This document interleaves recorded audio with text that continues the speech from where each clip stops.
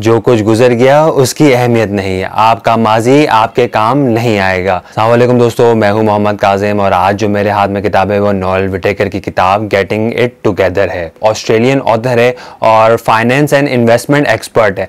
तो इनकी किताब जो है, वो इसी मौजू के ऊपर ही होती है। इस किताब का जो जदीद एडिशन है, उसका नाम है the beginner guide to the wealth इस किताब के अंदर जो मुझे एक चैप्टर बहुत अच्छा लगता है, वही चैप्टर मैं आज आप लोगों को पढ़ के सुनाऊँगा। उसमें से स्टोरीज भी आप लोगों को बताऊँगा। इसके अंदर जो पहला चैप्टर है, उसका नाम है the success is not accident कामयाबी कोई हादसा नहीं। कामयाबी कोई हादसा नहीं। वाकया और फैसला है। कामयाबी की नेमत किसी हादसे या इत्तेफाक से नहीं मिलती, बल्कि इसके लिए सोचना पड़ता है, खुद को तब्दील करना पड़ता है। यानी, जो कुछ गुजर गया, उसकी अहमियत नहीं। आपका माजी आपके कुछ काम नहीं आएगा। आपके नज़दीक ज़िंदगी एक खूबसूरत वादी का नाम है, जो पहाड़ के दूसरी जानब है। इसको उबूर करने के लिए आपको रहनुमाई दरकार है। आपने कामयाबी के लिए कोशिशें ज़रूर की होगी, मगर नाकाम रहे होंगे। हो सकता है कि मायूस होने और थक हार कर एक तरफ़ बैठ रहने के बजाय आप में ये एहसास पैदा हुआ। आपने अगर अच्छी इब्तदा करनी है तो कामयाबी ज़रूर आपके कदम चुमेगी। जो लोग ये सोचते हैं कि ज़िंदगी ने इन्हें कुछ नहीं दिया, दरअसल वो इस बात पर ध्यान ही नहीं देते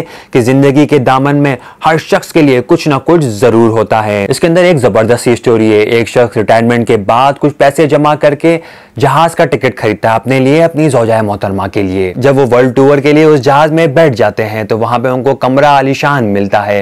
दोपहर का खाने का वक्त हो जाता है तो वो रेस्टोरेंट में चले जाते हैं खाना खाने के लिए। जब खाने का ऑर्डर करने से पहले मेन्यू उनके हाथ में आता है। जब उन्होंने मेन्यू देखा तो उनके होश उड़ गए। दोनों ने फैसला किया, अब पूरा सफ़र बिस्किट खाकर ही तय करेंगे, और इससे जो रकम बचेगी, वो उससे खरीदारी करेंगे। एक माह तक बिस्किट खा खा कर दोनों का बुरा हाल हो गया, और उन्होंने अच्छी खासी रकम बचा ली और चंद अशिया खरीद ली, ताकि वतन पहुँच कर अपने प्यारों को तोहफे तहाइफ दे सके। सफ़र के आखिरी दिन उन्होंने बजट का जायजा लिया तो उन्हें अंदाज़ा हुआ। इतनी रकम बच चुकी है कि वो जहाज़ के रेस्टोरेंट में दो वक्त का खाना खा सकते हैं। दोबारा वह रेस्टोरेंट में दाखिल हुए, वेटर को बुलाया, वेटर से मेन्यू तलब किया। जब वेटर ने मेन्यू दिया तो देखा डिश के साथ रकम मौजूद ही नहीं है। तो उन्होंने इसके बारे में दरियाफ्त किया तो उनको पता चला, जो लोग केबल में क्याम पजीर है, उनके खाने के पैसे टिकट में ही शामिल है। अगर उन दोनों ने टिकट खरीदते वक्त या सफ़र की इब्तदा में ही इस मामले की वजाहत तलब कर ली होती तो पूरा सफ़र बिस्किट खाकर ना तय करना पड़ता। ज़िंदगी का सफ़र भी कुछ ऐसा ही मामला है, जो लोग अपना जहन वाजे नहीं करते, वो सारी ज़िंदगी बिस्किट पर गुजारा करते रहते हैं,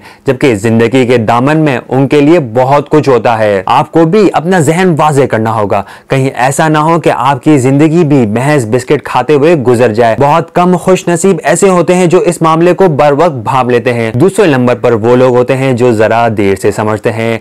अक्सरियत उन्हीं लोगों पर मुश्तमिल होती है जो इस मामले को कभी भी समझ नहीं पाते। असल किताब तो अंग्रेज़ी में है। इस किताब का उर्दू तर्जुमा भी हो चुका है। अगर आपको ये वीडियो पसंद आए तो इस वीडियो को लाइक करें, शेयर करें और जो है हमारे चैनल थिंक स्टॉक को ज़रूर सब्सक्राइब कर लीजिएगा। बहुत शुक्रिया। अल्लाह हाफिज।